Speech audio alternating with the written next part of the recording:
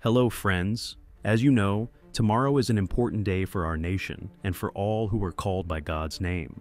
As we approach this election, I want to remind you of something powerful. God is in control. We each have a part to play, and that includes participating in this election. Your vote matters. But no matter the results, remember that God has a plan that surpasses human understanding.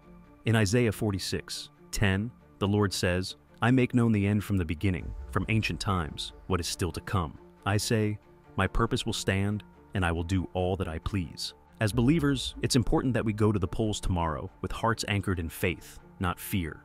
We may feel the tension, the uncertainty, and the pressures of this season, but know this our confidence is not in earthly leaders, but in the one who reigns above all, the King of kings and the Lord of lords. His purpose will stand, regardless of the political landscape.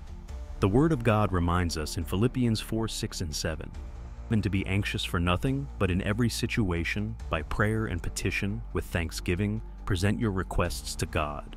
And the peace of God, which transcends all understanding, will guard your hearts and your minds in Christ Jesus. As you go to vote tomorrow, carry this peace with you. Let your voice be heard, and let your faith in God remain steadfast. This is not a time to be divided or fearful, but a time to unite and pray. As you vote, let's commit to intercede for our leaders, for those in authority, and for the future of our nation.